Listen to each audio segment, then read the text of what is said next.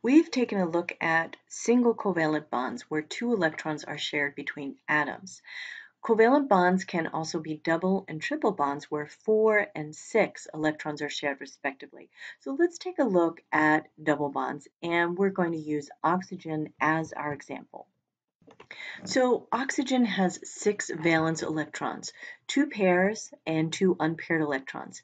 If we form a single bond between oxygen, we still have an unpaired electron on each oxygen and each oxygen hasn't fulfilled the octet rule. If we count the number of electrons around oxygen after the single bond is formed, one, two, three, four, five, six, seven. It only has seven. So to get um, an octet around the oxygen and to pair this unpaired electron, each unpaired electron on the oxygen forms another bond. And then we have four electrons that are being shared between the oxygen. And the octet rule is fulfilled. So if we count the number of electrons around each oxygen, I'll just count one and it'll be the same for both. One, two, three, four, five, six, seven, eight.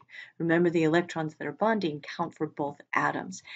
And there we have a double covalent bond. Now we also have triple bonds and we'll use nitrogen as our example. Nitrogen is in family 5A and it has five valence electrons. So if it forms a bond between, if each nitrogen forms a bond with the other nitrogen, um, we still have two unpaired electrons and the octet rule has not been fulfilled. So if we form another bond between an unpaired electron on each nitrogen, we still have an unpaired electron on each nitrogen and the octet rule hasn't been fulfilled. At this point, there's seven electrons on each nitrogen. If we form a triple bond, so bring this unpaired electron over and this unpaired electron over, then we have fulfilled the octet rule. So there are one, two, three, four, five, six, seven, eight electrons around each nitrogen. So double and triple bonds occur when you have to share more to fulfill the octet rule for each atom. And um, double, triple, and single bonds are different in terms of their bond length and their bond energy.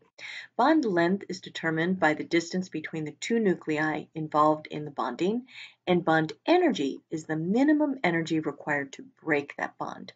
So single bonds are the longest, double bonds mm-hmm. are shorter, and triple bonds are the shortest.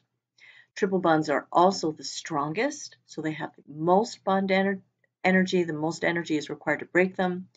Double bonds um, have greater bond energy than single bonds, less than triple bonds, and single bonds are the weakest, meaning the least amount of energy is required to break them.